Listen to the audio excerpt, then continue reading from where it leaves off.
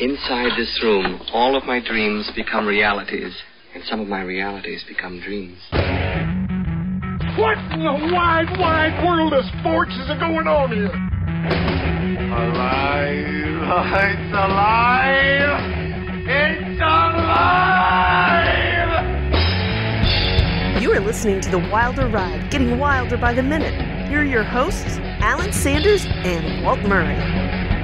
Welcome back, everyone, to The Wilder Ride, Getting Wilder by the Minute, a podcast where we break down and celebrate the films of Gene Wilder one minute at a time. And our first inaugural entry into this Movies by Minute is Young Frankenstein. I'm one of your hosts. I'm Alan Sanders. I'm Walt Murray, your co host. And joining us again, a wonderful actor, Adam Boyer. Adam, welcome back to our castle. Good to be back. I trust you approved of today's food items and everything we brought to your trailer. Makeup girl took care of you and everything? Uh, I didn't get my green M and M's. Uh, there were a couple of brown ones in there, but you know we, we, can work on that. All right, we hired some new you know staff, and they're they're, they're still learning the particulars of each of our characters. Right, and and the color blindedness probably didn't help either.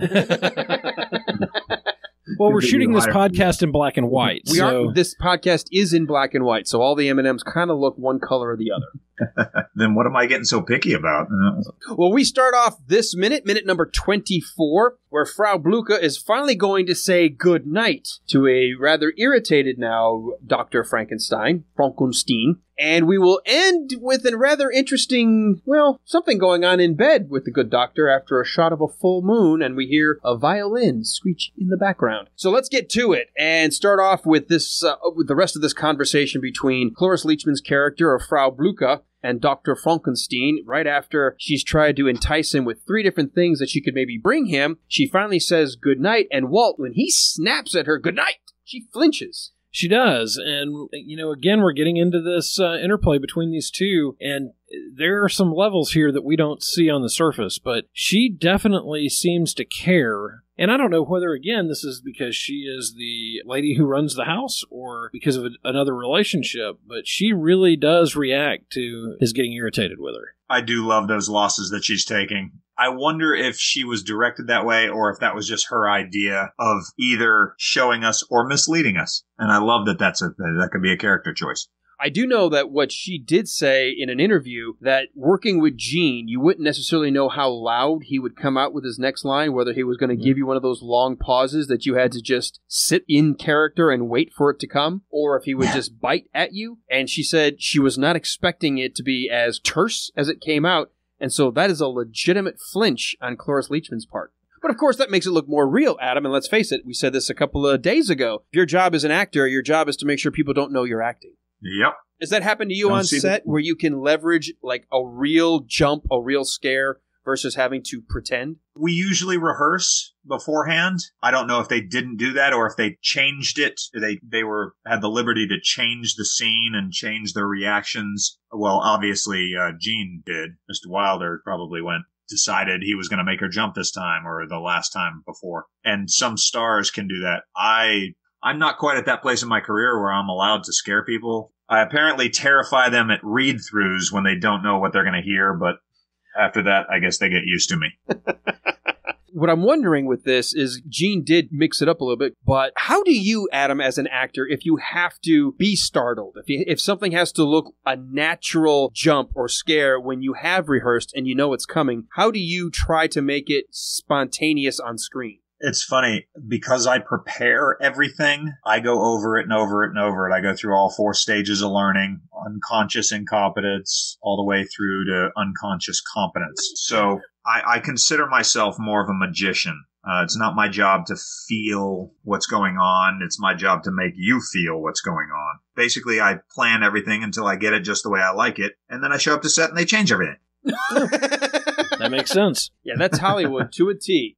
Do it exactly I, I, like the script says, but nothing like the way the script says. Yes, I actually just uh, just wrapped a film, and I hadn't had this happen to me. You know, they've given me things to do, but I showed up to set, and I thought it was going to be sitting in a booth, not even looking at each other, shooting the film like the script said. And he said, "No, what we're going to do now is I want you carrying a bag of wings in one hand and a drink in the other. Then you're going to open up the car door that it's going to be in. You're going to sit down. You're going to pull out your tablet with one hand, flip through some pictures, hand them the tablet, take a wing out of the bag, eat the wing, then take a drink while you're telling this story, then put the bone from the wing back in the bag, take another sip, grab your tablet back, and then take the money and I'm counting how many things I have to hold, and I'm now up to four with my two hands, and then get out of the door and get out of the car. It was the first time in 20 plus years I've had script continuity come up to me and say anything really, but they did come up and say, okay, so let's make sure you're eating the wing, not just with your right hand, but you're taking the bite on this part of the story when this word comes out and on this one. Wow. Now, how do you not look mechanical trying to keep that much detail in in the back of your mind? You just how many like did they give you time to rehearse it when they made that change pretty much on the fly? Not really. We were shooting the rehearsals. Yes, I rehearsed it, but we shot it. So yeah, it was it was uh it was it's not easy. it's not easy, but that's everybody would do it if it was the character, it did change the character for me, was this cool private investigator that was like this badass ex-military kind of guy who was laid back and cool in my mind. And then I got there and I'm a wing eating storytelling guy. So it changed, it changed the dialect and the character. So it changed my tempo from being kind of a slow laid back guy to kind of wanted them race car driver talkers, you know, talking fast. It, it was just a complete overhaul, really. Well, somebody did their research on private investigators because that is basically our diet: is uh, chicken wings and uh, sugar-filled, caffeine-filled drinks. Half the time, talking while we're eating. So th- they they nailed us pretty good. Oh, good. Well, I hope I did you proud on this one. it sounds like you did. so, I think one of the hardest things for someone who's not an actor, when I got dropped in the middle of a movie and they said, try to act, you know, when, when the camera's on you in this scene, you need to look surprised. Look like you're looking at 9 11 happen. It was a spaceship crashing in the scene, which we did not know. But they said, you know, in your mind, think about watching 9 11 happen and have that reaction. And for me to have to consciously think about, here's what my face needs to look like, or here's how I need to, to act, I found that I'm not very emotive. And um, I, I don't I don't give away a whole lot, so I really had to work at that. And uh, it's interesting seeing her in this scene and the way that she does react to it. And I guess now I'm not as uh, surprised that it was an actual shock to her that he was being that loud in that firm when she wasn't expecting it. When we continue this minute here, we're in minute number 24, and Frau Blucher, rebuffed by the good doctor, picks up her unlit candelabra once again, says goodnight, and heads toward what looks like the doorway, but just coming into frame and a little out of focus is the portrait hanging of Victor Frankenstein. It's interesting because she pauses at the picture. It comes into focus as she closes in, and she does this quick look over her shoulder to see is he looking at me? And we recognize through editing, of course, we cut to a different view of Dr. Frankenstein back to now unloading his luggage. He's unpacking, getting ready to settle into his room. Adam, there's a beautiful shot here, and I love this the framing and the composition of this shot. She looks over her shoulder. We cut to Gene Wilder's character unpacking. He's not paying attention to her exit, but there is an oval mirror on a stand where we see her looking back at him so we'll be able to see what they're both doing, even though they're on opposite sides of the room. Lovely. That's insightful. well, you know, you know how they did that. No, how? The mirror's reflective. Wait, what? Wait, you mean that's a real mirror?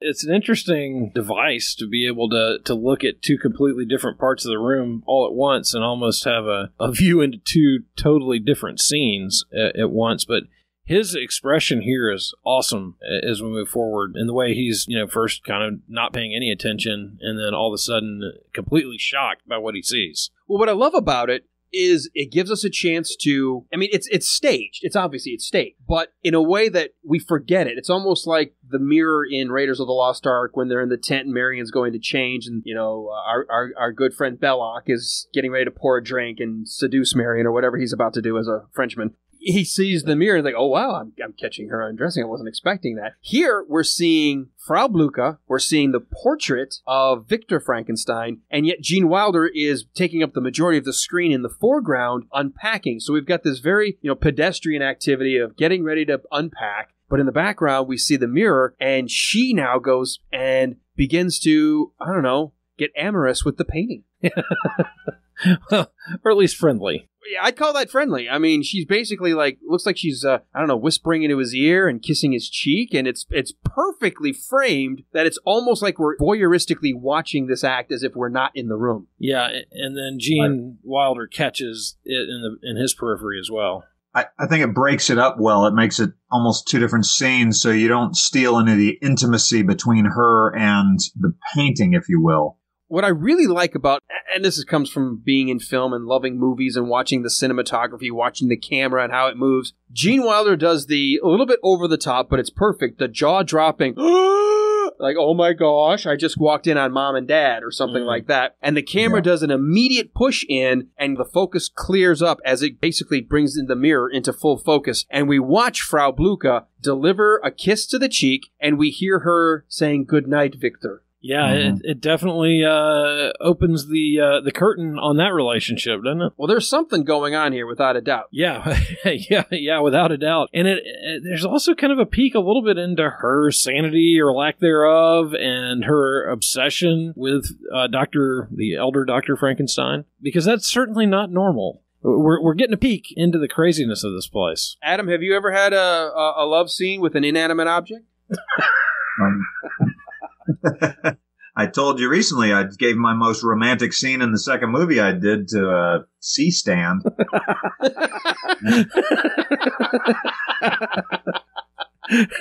Slapped a post-it on it and went, "That's Leanne." I was like, "No, Leanne is a very pretty woman.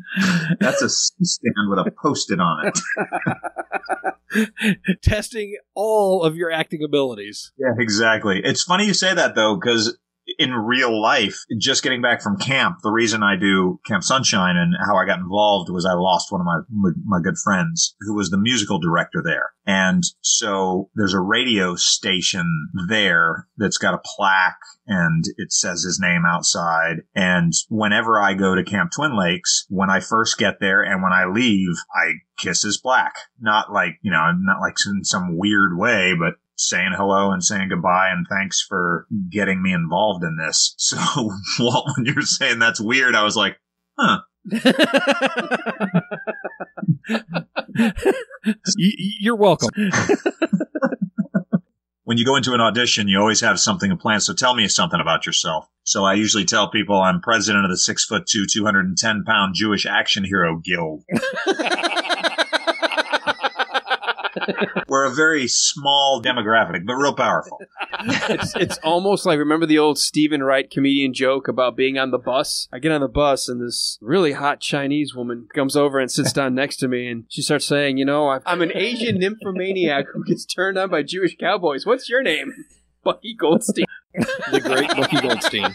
well, okay, let me ask you because you said, and I get the sentimentality, but do you kiss kiss the plaque like with your lips, or do you do the thing where you like kiss your hand and then slap No. the hand on the? Kiss my fingers and tap it. You know, it's not like I'm making out with them. So then you really haven't had to like manhandle a, a portrait at any time so far in your acting career. Give me a sec. No, I don't think so. Well, because I, I will tell you, if you have, the people listening are going to post on Facebook and, and correct you. I'm not going to say emphatically no. I'm going to say I don't remember.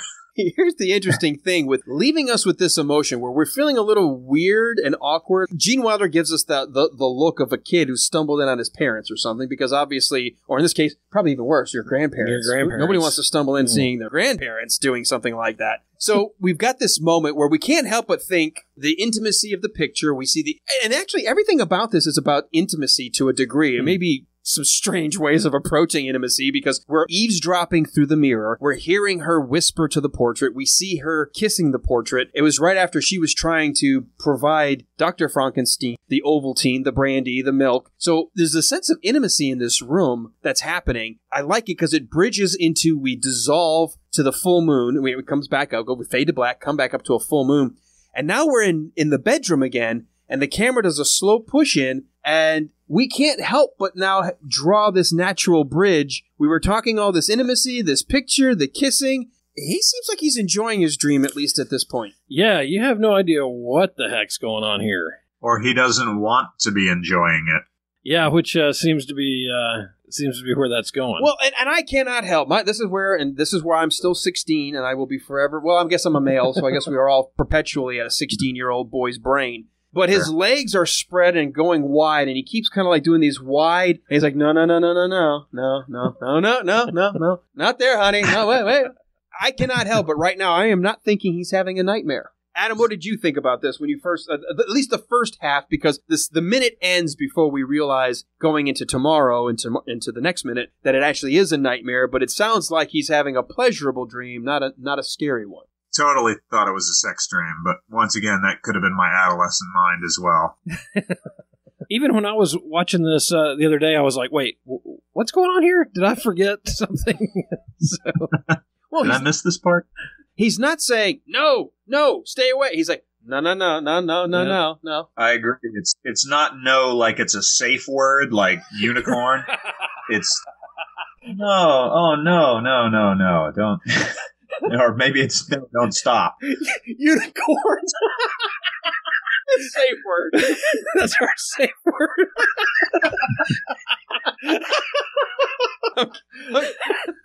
Wow. Well, Adam, that uh, that that uh, I have a whole new line of question at this point. Do you, as an actor, when you have scenes that may be more intimate or violent, do you do you guys use safe words to know the difference between saying no in character and saying, "Wait, wait, you're truly choking me. Stop it." No, I, I'm not a like I said. I'm not a method guy, so I've, I've never had that situation where I put anybody in danger with what I was doing. So no safe word. As far as being intimate on camera with girls and whatnot, yeah, that's that's just it's that's a whole different kind of awkward. But what about in terms of like, you know, how do you know that the other actor needs you to stop versus them in the character themselves if they're yelling stop, no, leave me alone? How do you work that out? I know there's rehearsal, but at some point, sometimes the emotion Yeah. of the scene takes over and you got to be careful sometimes. I've worked with actors who, you know, I got I got body slammed on stage every night. Now you're supposed to sort of not really body slam, but this guy would get so worked up that at one point I said, "Dude, you don't actually have to throw my ass to the ground. I think you broke my elbow last night." You know, I mean, some people really get into it. So, like, how does that work? Or have you had to experience that in your career so far? I've never had a problem with that. Um, I've I've done a lot of stage combat and and uh, even been a stunt choreographer for certain things. And the most, I guess, the closest I would have ever gotten to that is this. I did the the Reckoning, where I'm being held down by about 20 people, and I don't care. I was essentially being held down by a, a lot of extras and then like the two stunt coordinators. But you can be the toughest guy in the world and think you're the strongest, and there's you can fight out of situations. But when you have 20 people holding you down, like the director was saying, well, you know, kind of kick your legs. I said, Ruckus, I can't kick my legs. I have a thousand pounds on my leg. I can't move my legs in any way right now. So the claustrophobia of it made me a little anxious for a little bit, but I've never had a, a situation where I had, you know, where I needed like anybody to move or get up or do anything. And I've never hurt anybody in that kind of a way because like I said, I'm not method, so I'm not actually choking anybody. I did, I did have a scene once where I came in and I break a girl's arm and I, when we were rehearsing it, I was kind of pulling it and pretending to hit her and I wasn't actually hitting her with my elbow, but even me just kind of grabbing her wrist and pulling her arm out, and straightening it so I could hit it bothered her. So in between takes, you know, when she said, Hey, when camera's, you know, on you, if you can not go through those motions because my arm's getting a little sore, I went, Yeah, sure, no problem. I don't need your arm there as long as the camera's flipped around past it. So that's the only situation I guess I got anywhere near having a problem with that. So all the stuff I know about safe words is imaginary. Really not. Read it somewhere. I just picked unicorn.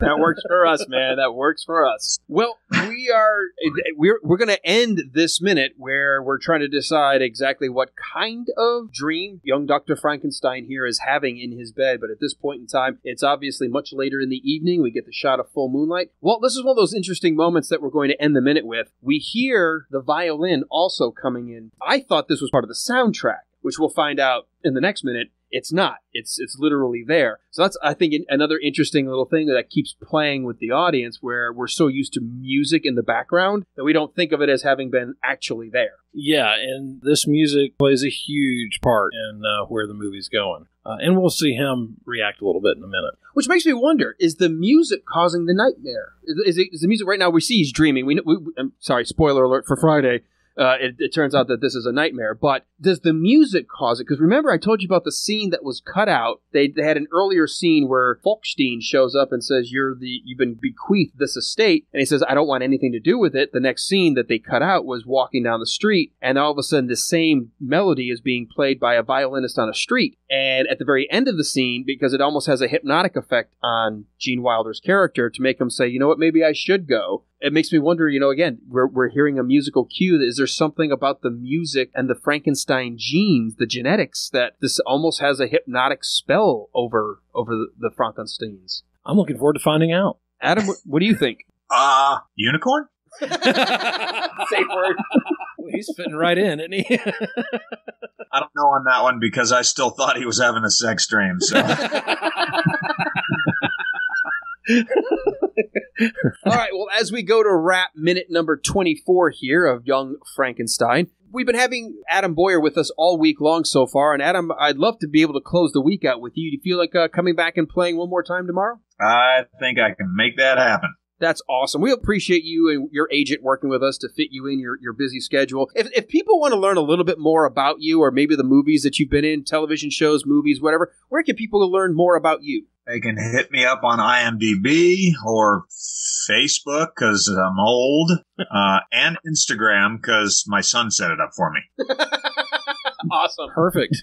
That's great. Well, folks, look up his credits. To have somebody who's a true working actor that gives us a, that glimpse behind the scenes on how films are made and what goes on in actors' minds and how directors approach different things, it's, it's really cool to have that as we make our way through Young Frankenstein.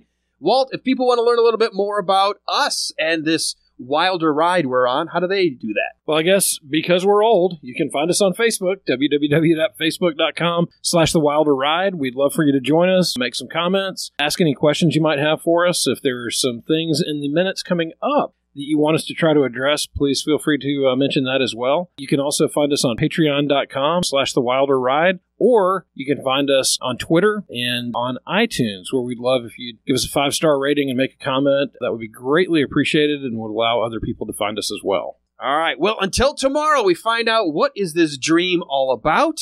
You want to stick around or come on back and play with us in the Castle von Frankenstein. In the meantime, unicorn. Frankenstone. Frankensnoodle. Frankenstein.